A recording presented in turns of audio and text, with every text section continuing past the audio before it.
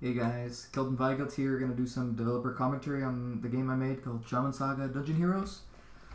Um, this game was a the result of a six week game jam or school project type thing. Um, began as my solo project to teach myself how to make a 3D game. So really, for me, this was more like um, a three month long project. Um, this was the first 3D game I ever made, so it began as just um, me trying to figure out how to make a 3D game. So I basically programmed all the all the AI, all the third person controllers, um, all, basically everything except for the main menu. Um, so it was a big learning experience for me for programming. And so it was the first time I really used uh, state machines. I had a multiplayer camera controller, you know, that would keep all the cameras, all the players on screen at all times. Um, it was also the first time I ever managed a project so large. So I was project manager, um, lead developer, uh, and vision keeper of the of the group of 14. So it was quite a challenge for me to work with so many people and keep keep everything on track. But uh, it was a lot of fun, and I think the artists really went above and beyond for this game, as you can see. So the I love the 2D art you see here for the main menu. And so here's another great page from the artists, and they even added some Unity particle effects there that are coming up. Okay, so I'll just do a playthrough of probably around the first level. I tried, I was playing through before, and this is the second attempt on the video. Uh, I kept on dying on the second level, couldn't get past it with just one person, so I'm playing for both characters. So it starts out with um, a little story, here we have a little tutorial, so I'll just explain the game. So it's two characters, each one has a heavy attack and a light attack. That's the light attack, and that's the heavy attack. And then they have this swapping mechanic. So you see that this cool effect. And so now, if I swap once, then now I'm the purple guy. If I swap, I can swap back. Um, and here's what happens if only one other person is holding it. So one person wants to swap. You see the the screen is glowing, basically saying to the other guy, "I want to swap." And the the little thing, the little icon in the center will start to glow and vibrate a little bit. And when I swap, they'll it does that little flip animation.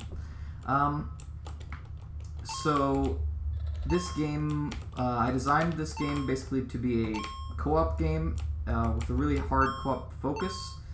So basically everything um, revolves around getting the players to work together. So for example, uh, the enemies have two different colors.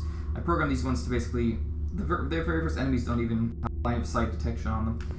Um, so if the purple guy hits the yellow ones, they get bigger and they get stronger. So only the yellow player can damage the yellow enemies. And only the purple player can damage the purple enemies.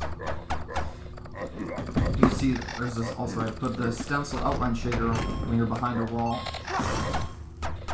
Uh, so,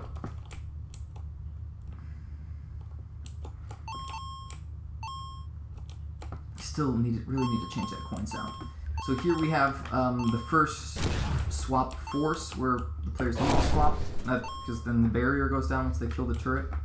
You see, so swapping one hit kills anything in between you. So it's basically really OP actually. Um, we made it OP uh, one week before it's finished, basically to get people to use it more, because people weren't using it very much. Uh, here's just like another classic co-op thing where we both stand on uh, platforms.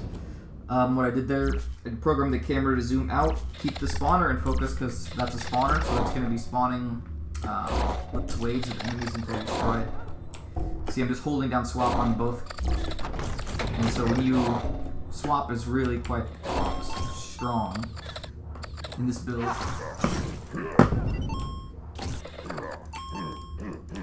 you can see uh, there's controller support and mouse keyboard support, so I'm playing on once with the controller and then I'm playing WSAD so I can move both at the same time. This is how I did the vast majority of the testing.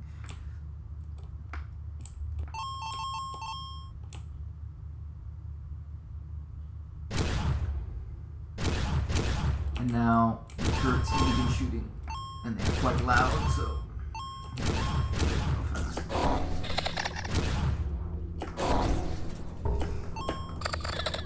so I had time only to program. I made uh, two different AI types. Um, so we got the melee guy, and we got the uh, the ranged guys that you see shooting from distance. Uh, here I'll try to try to buff him. So you see now that he's buffed, he'll actually he has two different attacks.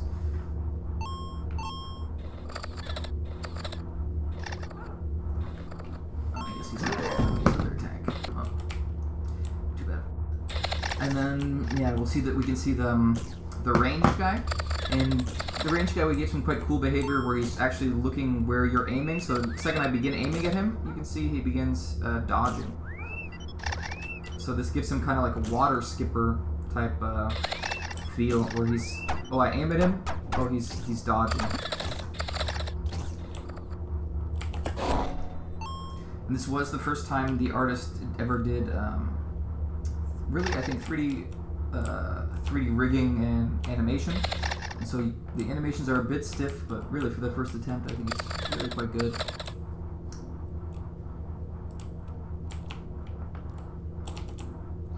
Here another thing where you know gotta keep force the players to kind of stay close to each other here with this mechanic. This is like the classic uh, Last of Us, uh, Uncharted, oh, gotta boost me up the ledge type thing where you gotta the close together, know?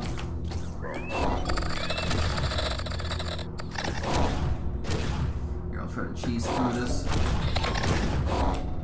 It's quite hard to play for both players, but I do have a lot of experience doing this because this is how I tested the game a lot. And for this one, I think I run through it.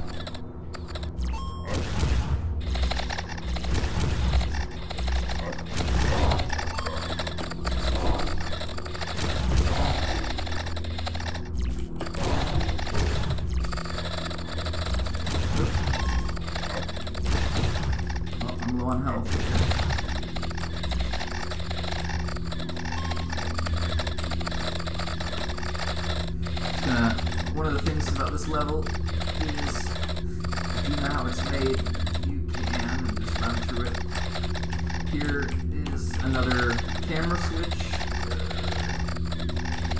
Quite low health here.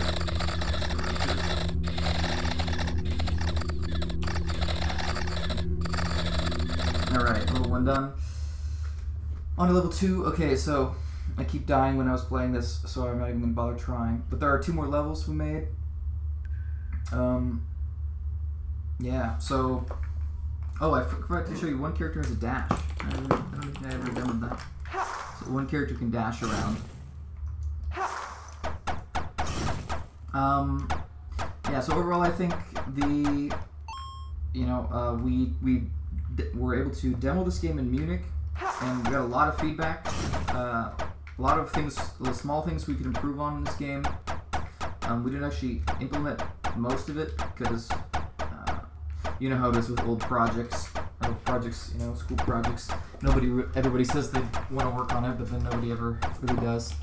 Um, but uh, quite happy with this game when we demoed it in Munich. Um, people were having fun playing it. Of course, the it, you know it definitely has its issues, but for the first ever 3D game uh, and six week project, I'm quite happy with it. I think um, the co-op, the all the different things to encourage co-op uh, in the game design really helped this game out. Um, yeah, and overall, so I'm gonna say I'm quite happy with this project. Um, yeah, if you want to download it, uh, you can. Um, you need one controller, and the other player can play on PC. Um, yeah, so thanks for watching. Hope you enjoyed the commentary.